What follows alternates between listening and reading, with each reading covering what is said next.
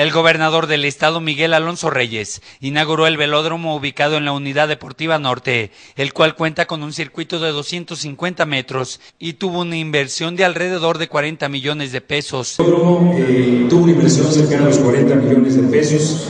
Este espacio cuenta con un circuito de 250 metros, de acuerdo a la norma de la Unión Internacional de Ciclismo, área de pista 2.088 metros cuadrados.